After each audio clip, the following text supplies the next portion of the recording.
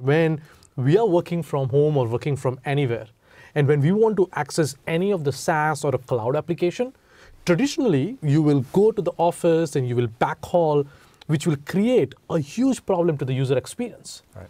Now with the FortiSASE, users can connect to the nearest cloud point of presence, which is going to give them all of the security functionality. Right. Right. And, and as I said earlier, this is full-blown advanced security capabilities. So you have a secure web gateway, you have a firewall as a service.